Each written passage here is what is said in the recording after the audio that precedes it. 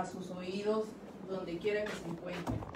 Eh, y antes de adentrarnos en el tema que eh, vamos a, manejar el día de hoy, que es el regreso a la normalidad, o bien eh, la con la frase la nueva normalidad, queremos enviar un saludo muy sentido a la licenciada Valerie Vélez Valencia, que se encuentra en estos momentos internada en el hospital, en la clínica del ISTE, aquí en la ciudad de La Paz, esperando ser eh, pues intervenida quirúrgicamente.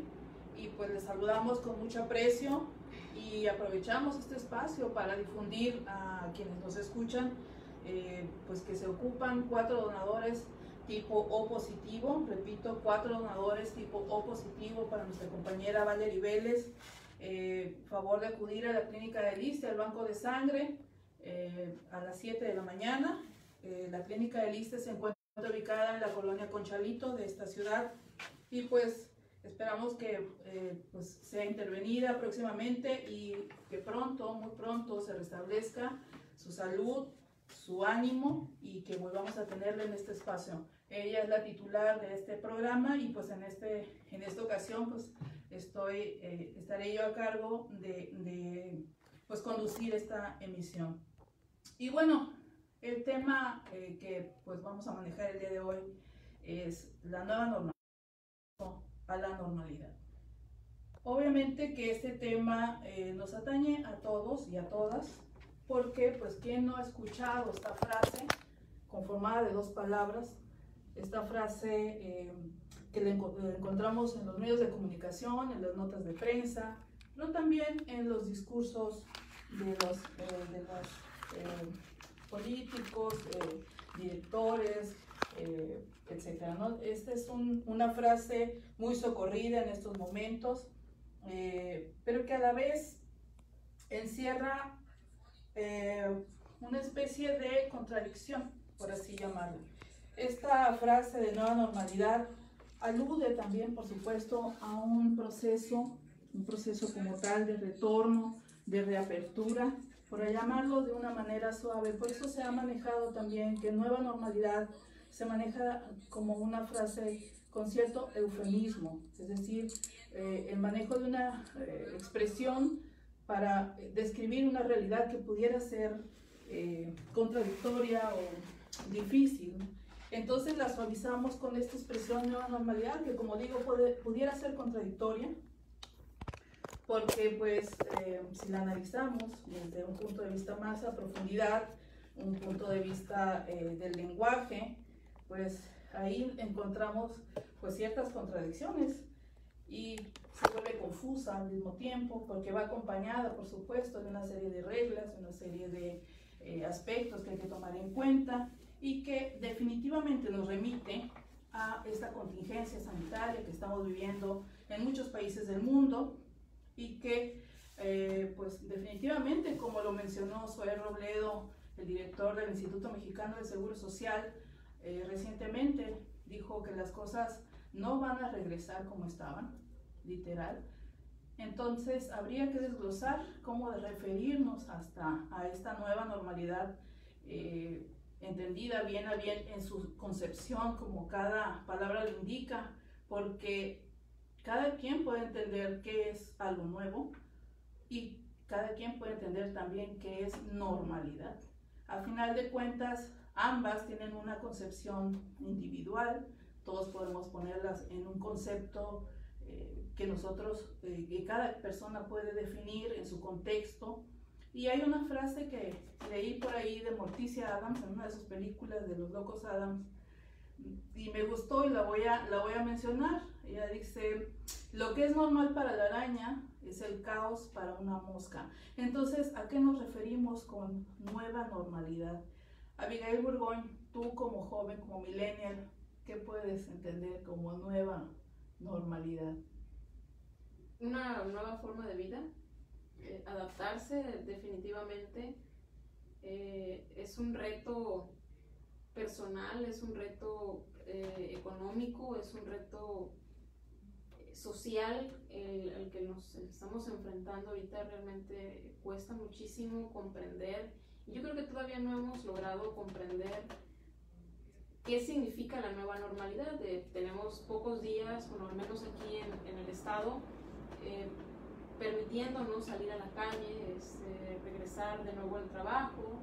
Pues las escuelas todavía es otro reto ¿no? que viene más adelante en agosto, cómo van a regresar las escuelas, cómo van a reaccionar eh, los niños que para ellos pues han estado eh, confinados en casa durante los últimos tres meses y a lo mejor para ellos pues pudo, pudo resultar como hasta de vacaciones, ¿no? Para muchísimos niños, pero para nosotros los adultos ha, ha, ha, sido un gran reto en lo personal.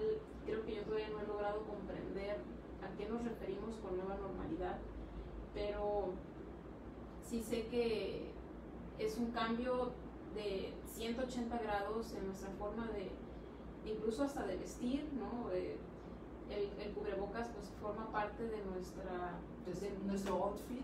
De, nuestro outfit no ya, ya, tenemos yo tengo uno diario no y este ahora ya pues los encuentras con diferentes eh, estampados y colores y ya venden incluso unos carísimos y duraciones no también. claro no y, y también que sean realmente funcionales no pero pues la nueva normalidad yo creo que es una frase que se dice muy fácil, pero implica algo grandísimo en lo particular para los negocios. Yo creo que para ellos principalmente es, es, un reto importante y, bueno, es, es, adaptarnos poco a poco a esto y, y empezar a comprenderlo eh, de una manera, vaya, personal para poder que nos sea un poco más fácil cada vez entender qué significa para ir al trabajo, para convivir en, en, casa, para convivir con los amigos cuando esto ya se permite o sea más factible,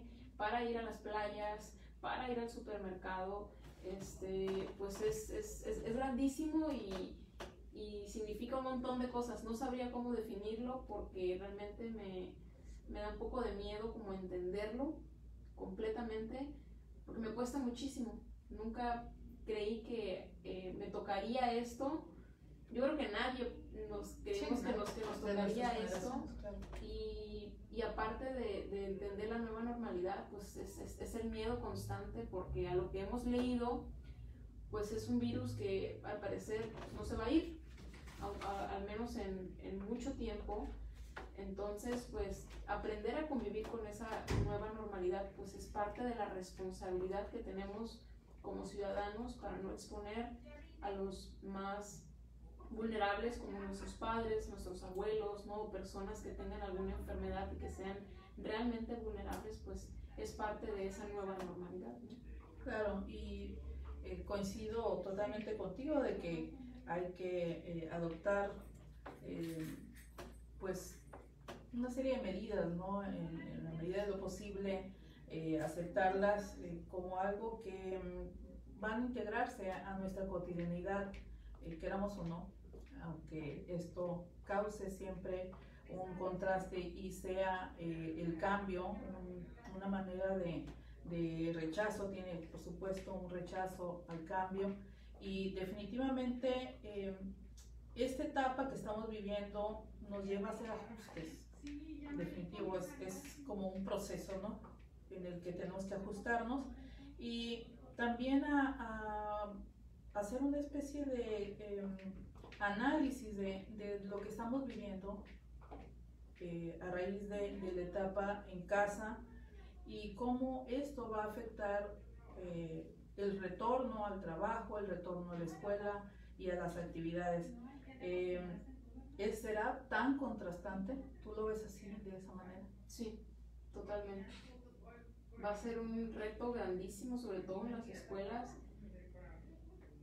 Creo que, bueno, yo había leído hace unos, eh, unas semanas atrás, no sé si realmente lo, vaya a aplicar así la Secretaría de Educación Pública, pero me parece que iban a regresar los alumnos como por etapas, como por apellidos. No sé, te digo si, si vaya a ser así, pero imagínate lo difícil que va a ser continuar con el ciclo escolar. Me parece que el, el, ciclo escolar terminó, creo que ya concluyó para muchas personas, es, pero para muchos alumnos de, sí, estos, de, de, universidad, yo tengo un hermano universitario, ya acaba de concluir justamente esta semana, pero cuando ellos regresen en agosto o septiembre, no sé si ya está la fecha definitiva. Pues imagínate tantos alumnos, pues a lo mejor los de prepa y universidad que son un poco más conscientes, pues pudiera ser más fácil, pero ¿cómo controlas a los niños de, de preescolar, a los niños chiquitos de primaria? Creo que Sí. yo no, yo no comprendo todavía porque ahorita esto se salió de control y se salió de las manos para muchísimas autoridades y es pues, pues, falta de la responsabilidad de las personas, pues que no debemos haber salido de casa y seguimos en la calle, pero pues muchísimas veces por necesidad, por trabajo, por X cosa, ¿no? Pero no hemos podido quedarnos en casa, pero sí es algo muy, muy grande. Y a todos nos, está afectando ya. Vamos a hacer una pausa, volveremos para seguir hablando de la nueva normalidad, cómo nos afecta y qué podemos entender de esta fase que está viviendo la humanidad en estos momentos. Volvemos en un momento. Y sigues allá en... ¡Eh! Espero que nos esté viendo si no- Nada más que tuvimos unos pequeñísimos problemas técnicos al principio porque no pude, Sí, pues me imagino. Y es que va, va a pasar el Héctor. pero sí va a pasar Héctor, nada más que no entiendo si está grabando o no, a ver, chécalo en tu celular. Porque dice ahí vivo, pero Y ya ni lo conectaste ni nada. no, ya no. Ah, pero ¿sabes qué? Es que mi celular no tiene esa entrada, pero con el otro, la verdad, eh, nunca supe. Tu teléfono yo no lo entiendo. Son muy difíciles. Un botón y luego tiene contraseña. Me genera muy complicado. Tache. No se ve, ¿no? Pues es que aquí la señal yo creo que está muy...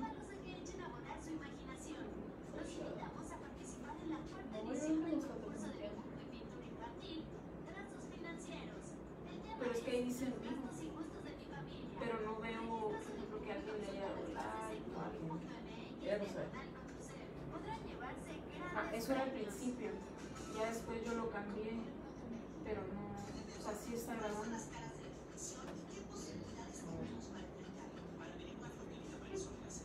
Pero así no me dio y le quité la, la- el bloqueo de mi pantalla, pero yo poco tiempo para hacer eso. Sí, ya sé. Pues estamos transmitiendo eh, problemas técnicos, ustedes disculparán, pero eh, así es el, Le voy a el decir Héctor retorno. para que se acomode, ¿sale? Ok, vamos a, a cambiar a nuestro panelista, va, va a entrar Héctor Romero y despedirse.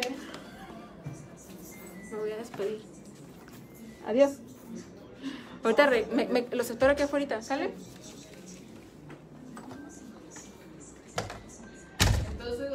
Vamos a seguir transmitiendo el tema de la nueva normalidad, que esto nos ha llevado a hacer un análisis eh, bien interesante, eh, bien eh, a nivel mediático y, incluso un análisis en el tema de, la información, pero también del lenguaje y del uso como tal en el en lo quizá en el entramos en el camino del neolenguaje.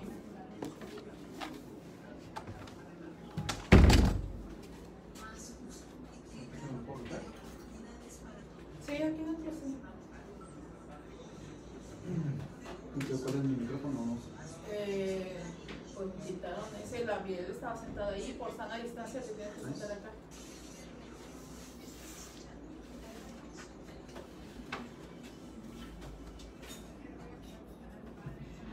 Estamos en Radiálogos, regresamos y vamos a escuchar ahora la voz de nuestro compañero Héctor Romero, que eh, pues se dio el espacio también para que para conocer sus puntos de vista. Eh, y bueno, por sana distancia en esta cabina eh, no podemos estar más de dos personas. Entonces, en la primera parte, pues escuchamos a nuestra colega Abigail Burgoyne y ahora pues es el turno de mi compañero Héctor Romero. Bienvenido, compañero. Buenas tardes, Eliana. Muchas gracias por recibirme. ¿Qué tal? Vamos a, a tratar de contribuir un poco con esto. Pues antes de, de irnos a- al corte, hablábamos de, de la nueva normalidad y el retorno a la normalidad, más bien, ¿no? el regreso a la normalidad. Eh, y cómo nos afecta en la cotidianidad.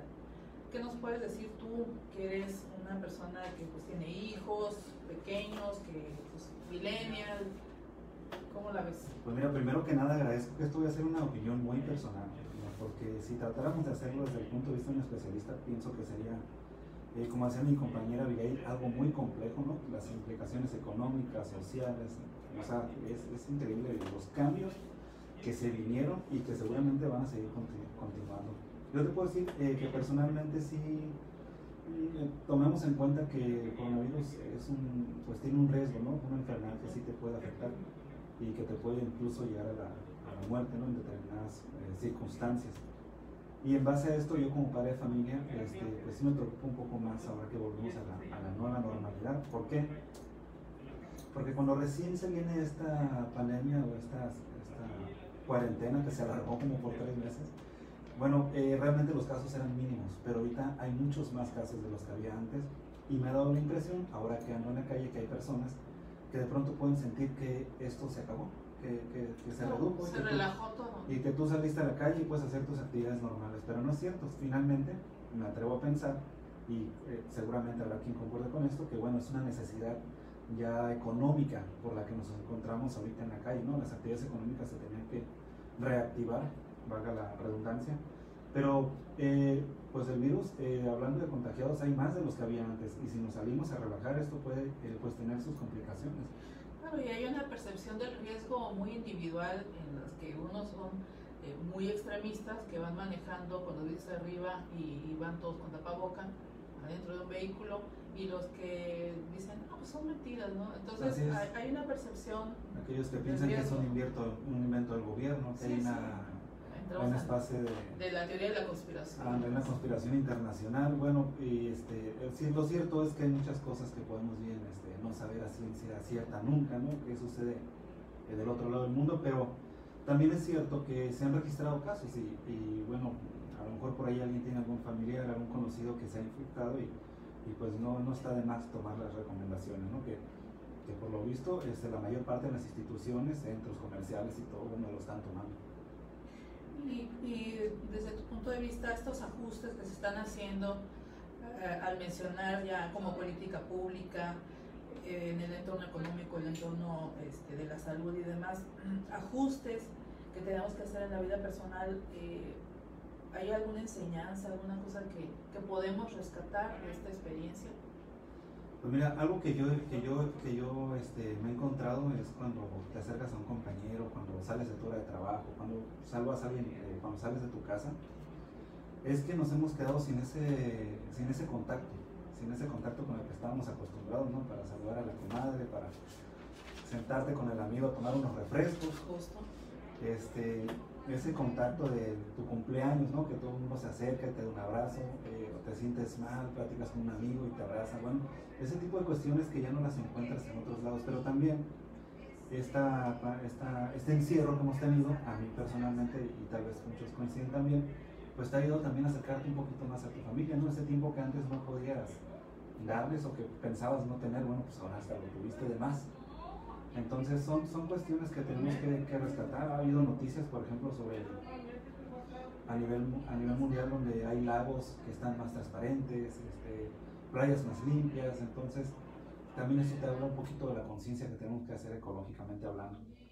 Pero algo que, que, yo, que yo pudiera observar y que me gustaría comentar es que pues estamos en un momento en que la tecnología de algún modo nos puede ayudar a, a transitar esto, ¿no? Porque no puedo imaginarme ahorita con tantas personas quedándose sin empleos, con empresas cerrándose. Escuchaba a mi compañera Miguel hace un momento, ¿cómo le van a hacer para controlar a los niños? Actualmente para eh, meter a personas a un salón los tienes que meter con dos metros de distancia, entonces ¿cómo le vas a hacer para meter a los niños cuando entren a la primaria, a la secundaria? Está, de verdad que yo lo veo complicado, ¿no? Y, y si hablamos de todas las pérdidas económicas que hubo y oportunidades de empleo que se han perdido, eh, pues lo único que en determinado momento puede ayudar es la tecnología, una tecnología que antes no teníamos y que ahora tenemos, ¿no? Que nos permite comunicarnos y trabajar desde casa, que nos permite hablar con el abuelo que no lo ha ido a visitar tal vez en un mes. Me parece que ese sería un punto de, de apoyo. Aún así, eh, yo concuerdo también con ella y, en que es un tema muy complejo, tiene muchas implicaciones y no puedo todavía imaginarme dónde vamos a estar en un año. Lo único que sí podría pensar es que vamos a seguir con el cubrebocas. Ah, sí, eso, eso ya quedó como parte de, los, de las eh, premisas de esta, de esta etapa. Y ciertamente el tema económico es ineludible porque a final de cuentas afecta a, todas a todos los sectores sociales, estamos hablando de muchos países que están viviendo situaciones muy adversas, eh, complicaciones en la industria y demás, eh, justo nuestra, en nuestra entidad, el, aspecto turístico que pues también se viene a, a, trastocar con toda esta etapa y todas las cadenas de valor que tienen que ver con, con este sector tan importante para la vida económica del Estado y pues a final de cuentas la nueva normalidad está totalmente ligada con el aspecto económico. Así es, y no quiero ser catastrófico, pero hay otros eventos que pudiéramos tal vez tocar, como la Segunda Guerra Mundial, ¿no? Eh, terminó eh, cambiando el panorama completamente de la sociedad de los países que se involucraron en esta guerra.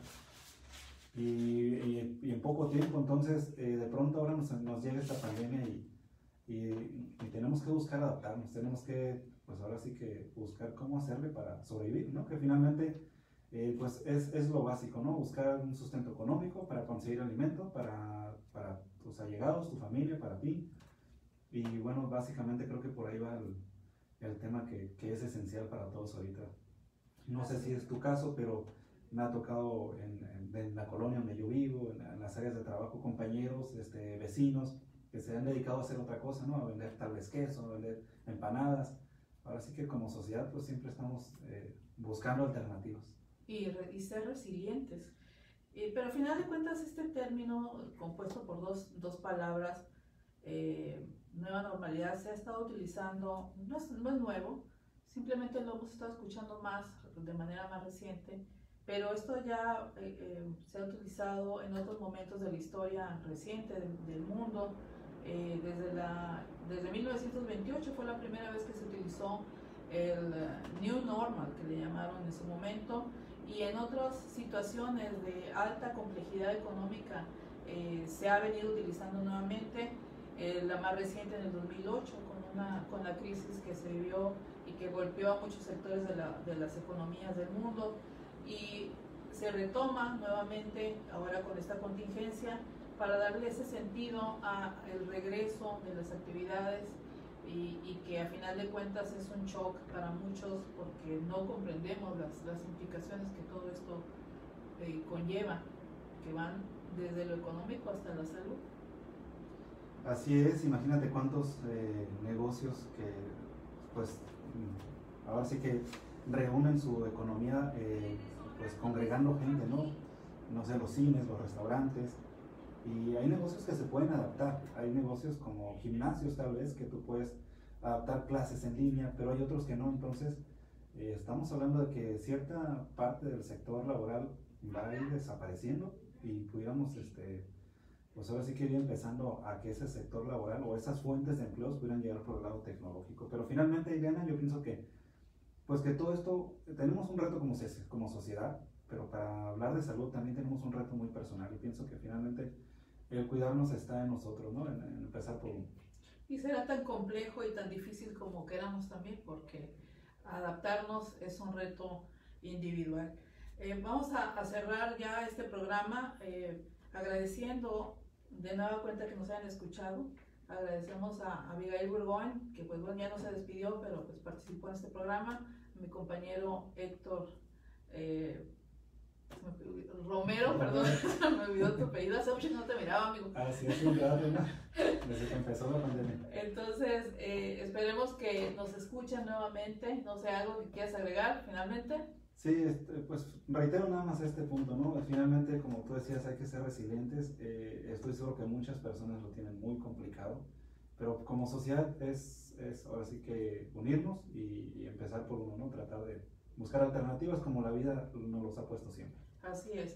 Agradecemos mucho a Sergio Avilés en, el control técnico, al Instituto Estatal de Radio y Televisión. De nueva cuenta, eh, nos escucharemos el martes que entra cuando vuelva a ser momento de radiálogos. Muchas gracias, buenas tardes. Buenas tardes. Gracias. Toda chueca, no la, la imagen, pero gracias. Sobrevivimos. Gracias.